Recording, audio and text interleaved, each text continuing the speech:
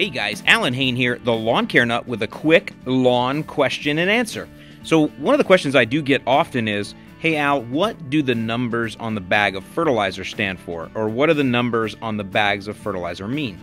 That's a great question because that's really the key to starting a proper application of fertilizer or other lawn product.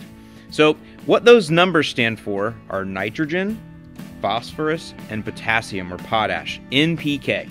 What we call this is analysis by weight or the guaranteed analysis. So for this Lesco starter fertilizer at 18 for nitrogen, that means that 18% of the bag is nitrogen, 24% phosphate, and 12% potassium or potash. That's important for when you're going to go and put an application down, and I'll link below to some other videos that show you exactly how to put down fertilizer and how much fertilizer to be putting down. So let's talk about NPK real quick. So nitrogen.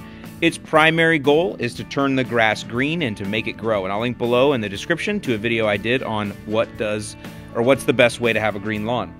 The second one, phosphorus, that's really going to be designed to help root growth and root development. So, phosphorus is going to be more important in the fall. It's also important to understand that a lot of municipalities uh, around the country in North America have actually banned phosphorus use uh, due to uh, some negative effects it can have on waterways.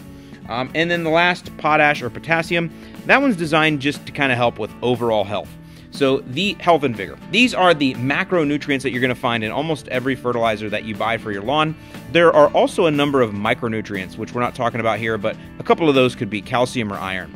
So, there you go. That's what the numbers on the bag of the fertilizer mean. I'll link below in the description to some other videos I did that would also be helpful in, you know, shedding a little light and helping you understand a little bit more about fertilizer rates and how to apply. I'm Allyn Hane, the Lawn Care Nut. Thanks for listening, and I will see you in the lawn.